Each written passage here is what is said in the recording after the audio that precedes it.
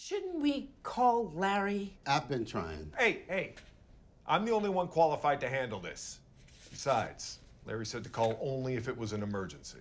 Oh, I think finding a mummy qualifies. Reliquum corpus. Mummy, corpse, who cares? I care. I care. I found him. I was supposed to find him. You know, my oath is sealed. My path is waiting. Let me by, it. man. Yeah, No, calm I'm down. trying to- oh.